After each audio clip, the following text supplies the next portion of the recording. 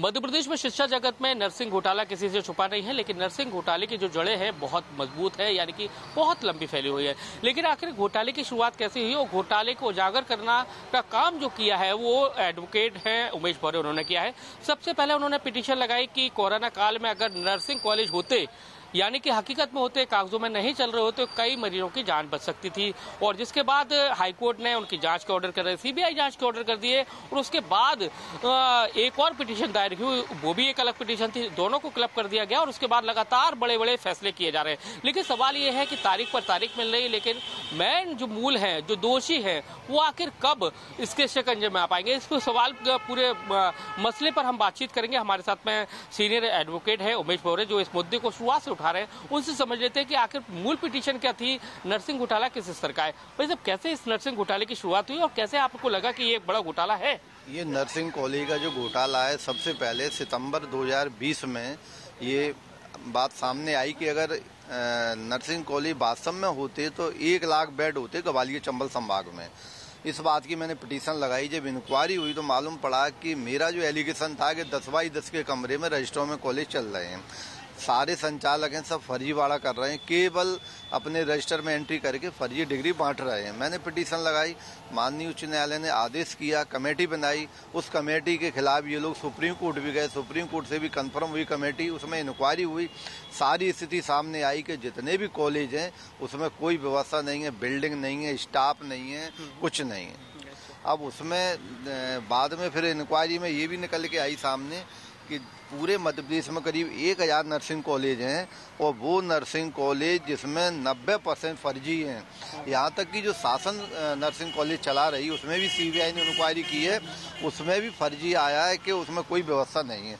हमारा कहना यह है कि अगर नर्सिंग कॉलेज में जो स्टूडेंट जा रहे हैं, पढ़ रहे हैं, फर्जी, अगर ये पूरे देश में जाएँगे, प्रदेश में जाएँगे इलाज करेंगे तो निश्चित ये लोगों को, मरीजों को मारेंगे।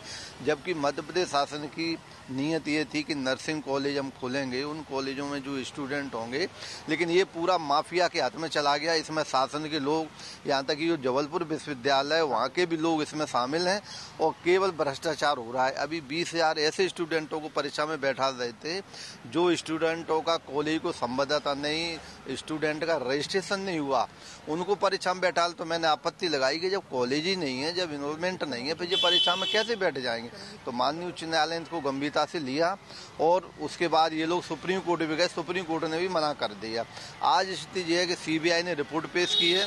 आठ कॉलेजों में चार कॉलेज जो सरकारी हैं, आठ उनमें चार कॉलेज में कोई व्यवस्था नहीं है। बाकी जो दो सौ इकहत्तर कॉलेजों की जाँच रिपोर्ट प्रस्तुत की गई है उसमें भी ना तो बिल्डिंग है, ना स्टाफ है, कुछ नहीं है। इसमें सबसे महत्वपूर्ण बात यह है कि आज सुनवाई के दौरान सरकारी वकील ने, नर्सिंग ने कहा कि भाई मुझे लिस्ट दे दो दो सौ इकहत्तर की तो मैं रिपोर्ट पेश कर दूँगा। तो माननीय उच्च न्यायालय ने इसे गंभीरता से लिया और ये कहा है कि अगर ये नर्सिंग कॉलेज जो रिपोर्ट सीबीआई ने पेश की और तुम्हारी रिपोर्ट से भिन्न पाए गए।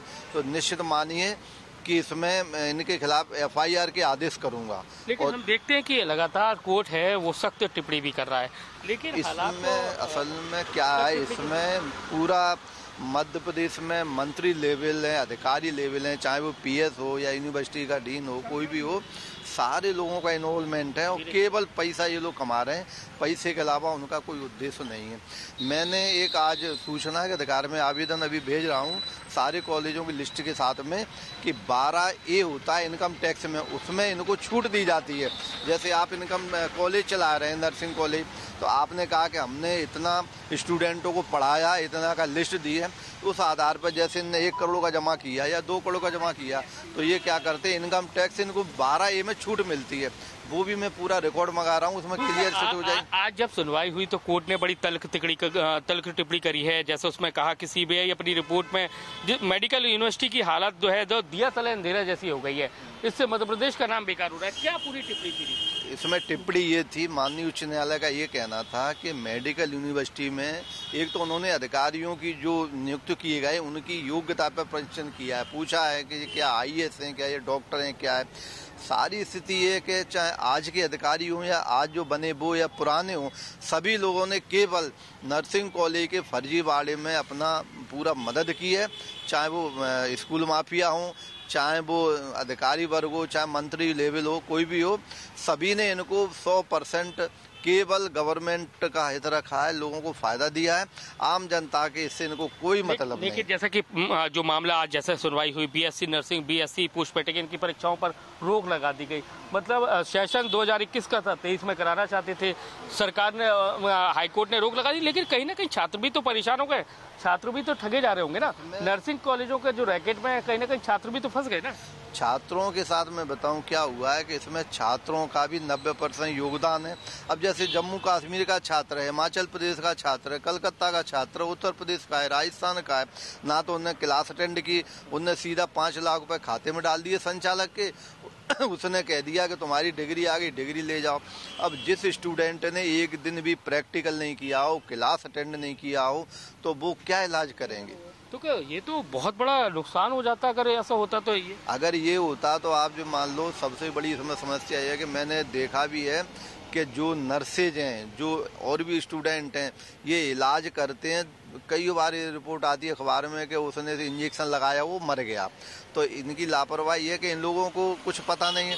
अब डॉक्टर लोग तो क्या करते हैं अपने हॉस्पिटल में उनको डिग्री दे के रख लेते हैं जबकि उनको कुछ नहीं आता A B C D nursing के अब मामले। लास्ट ये कि आज कोर्ट ने क्या कहा है अब अगली सुनवाई क्या है कब होगी और किस तरह से आप आगे कोर्ट ने ये कहा है कि आप पूरी रिपोर्ट पेश करिए।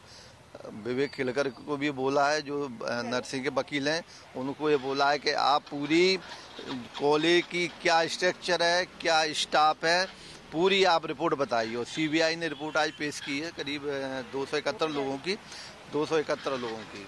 तो उसमें कॉलेजों की तो सीबीआई माननीय उच्च न्यायालय ने सीबीआई से बोल दिया है कि तीन तारीख को आपको जो भी रिकॉर्ड और आप दे दो और तीन अगस्त फाइनल लेने के लगा दी सभी बच्चों से कह दिया कि अपनी अपनी तैयारी करके आइए और निश्चित मान लो माननीय उच्च न्यायालय का बहुत बड़ा योगदान रहेगा। अगर ये नर्सिंग कॉलेज में जो फर्जीवाड़ा निकल के आया, अगर इनके खिलाफ कार्रवाई होती है तो नब्बे परसेंट नर्सिंग कॉलेज वाले जेल जाएँगे और इनको मैं तो ये भी प्रेयर करूँगा कि इनकी फ़ीस भी वापस की जाए, लड़कों की जो फ़ीस ली गई है।